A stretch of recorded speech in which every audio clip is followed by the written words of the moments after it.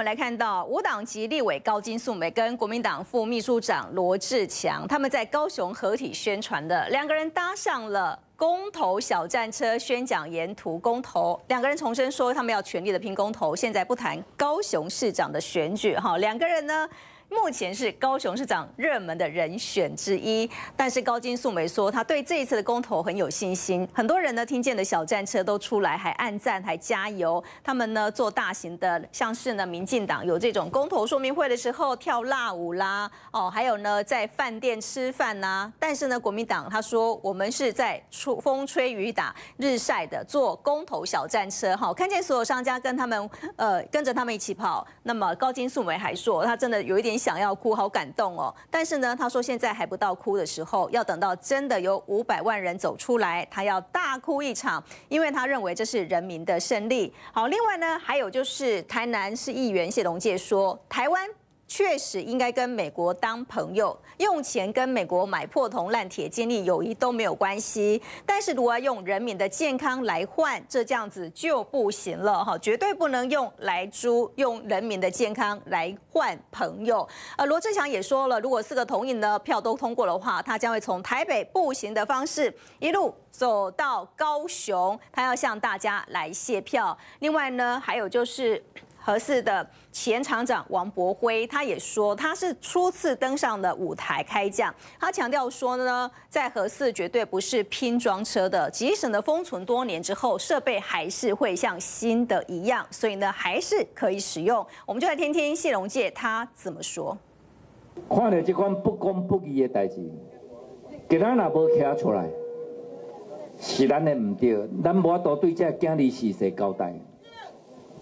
今仔日，你若点点唔出声，人讲好人若救救，歹人就唱，歹人就唱秋。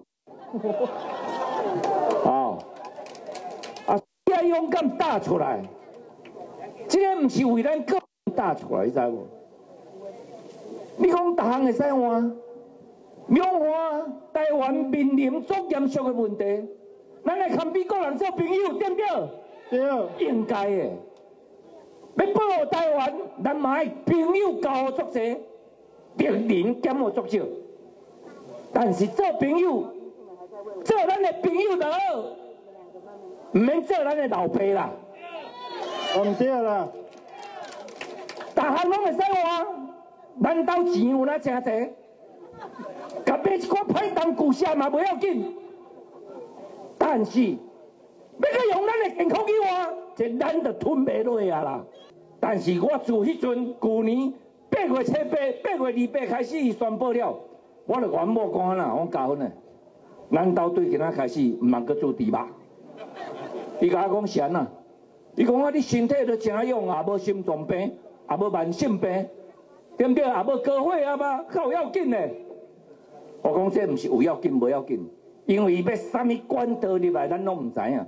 这不但有慢性病、破心、高血压命呢。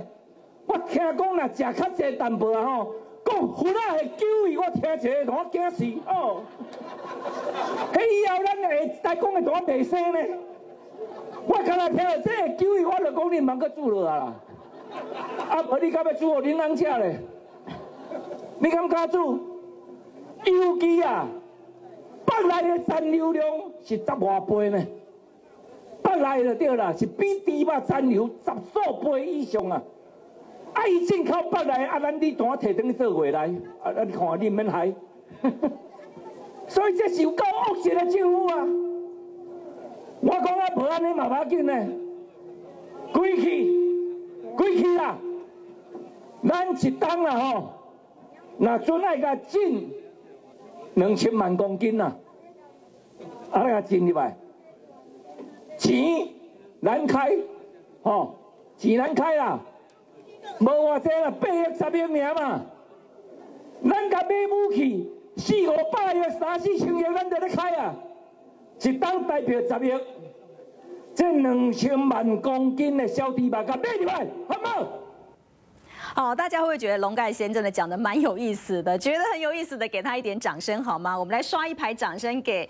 呃，谢龙介哈。另外，我们要谢谢好朋友江正佳的斗内，他说塔利班你再耍赖试试看呐。哦，嫌人民的怒火烧的不够旺，是不是呢？的确，好多人心里头真的是一把怒火了。好，尤其呢，我们最近看到高金素梅，那么好几次呢都站上了小战车，而且呢到处的去宣讲。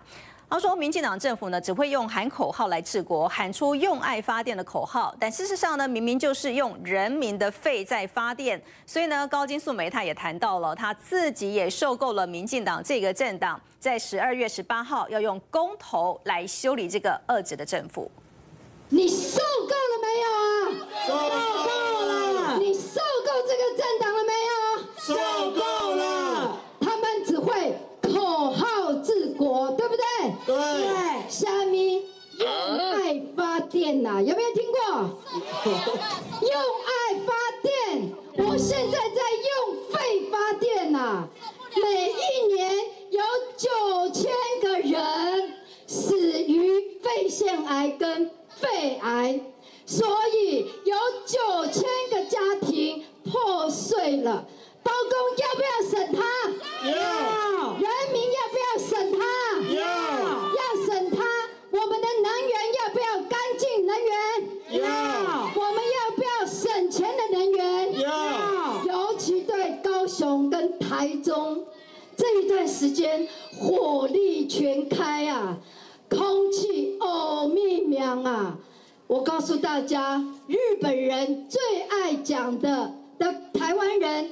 我们的民进党最爱讲的日本，刚才我们的处长已经说了所有核能的科学的问题，我也要跟大家报告，三一一海啸之后，日本关了几座的核电厂，但是三年之后他受不了啊，冻美掉啊，你知道为什么吗？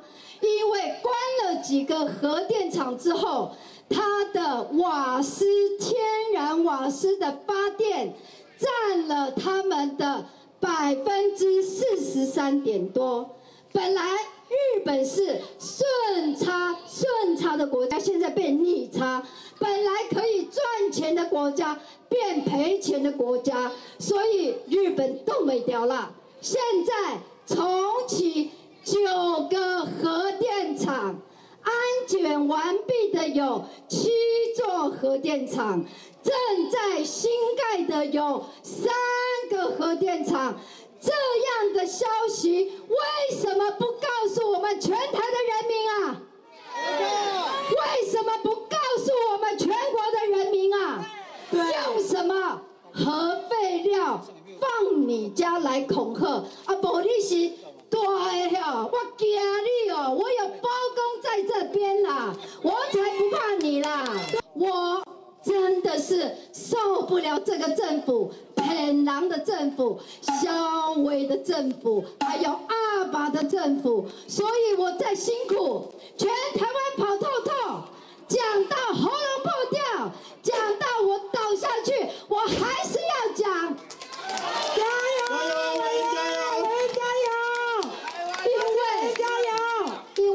我如果不讲的话，媒体被民进党垄断了，我们根本听不到真的消息，所所以我是领你们纳税钱哦，你们是我的讨给哦，你们也是，你们也是蔡英文的讨给哦，你们也是民进党的讨给哦，是他的奴隶了，所以既然我们是讨给。